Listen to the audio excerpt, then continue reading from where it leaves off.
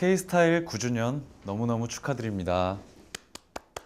저에 대한 소식들은 K스타일에서 항상 잘 보고 계시죠? 어, 2021년은 어, 무조건 건강한 한 해가 됐으면 좋겠어요. 그래서 저도 왕성한 활동도 하고 또 팬들과 소통하면서 어, 좋은 연기를 보여드리고 싶습니다. 어, 2027년은 음, 더욱더 좋은 작품을 만나서 어, 좋은 캐릭터로 여러분들을 만나고 싶어요.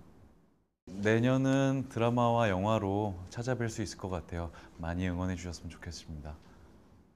전 세계적으로 너무 지금 안 좋은 상황인데 하루빨리 코로나가 없어져서 어, 모두가 건강해서 다시 한번 어, 예전처럼 모두 외출도 하고 웃으면서 길거리에서 여러분들을 만났으면 좋겠어요. 앞으로 저희 정보는 K스타일에서 확인해 주세요. 그리고 많은 사랑 부탁드립니다. 항상 좋은 모습을 보여드리기 위해 노력하는 윤현민이 되겠습니다. 지금까지 윤현민 이었습니다.